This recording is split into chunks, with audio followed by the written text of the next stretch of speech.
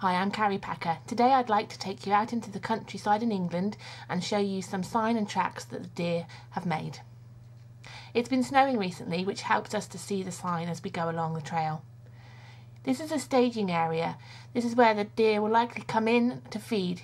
You can see the trees in the middle and the two empty spaces in between where the deer would likely sit and feed. This is our human path that we've made. You can see our sign really easily. But what's interesting is the deer trail that crosses our path diagonally on into the woods. Because of the snow, you can see the, the print of the deer really well today. You can see where the uh, front of the hoof is and also where the dew claws are.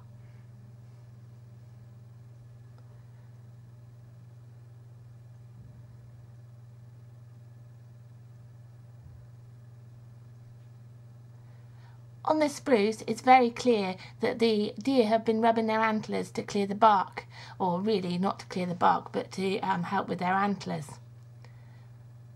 This is a path that they've been using through the woods. You can see really clearly on here their actual hoof prints on top. Here.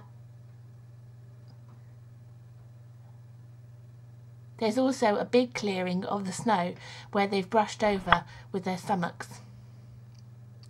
So on the trail, you sometimes you have to be happy with the tracks and the signs that you see. Hopefully sometimes you might get a glimpse and spot something off in the distance. Either way, it's great fun and I hope you've enjoyed the time with me here today. Take care. Thanks very much.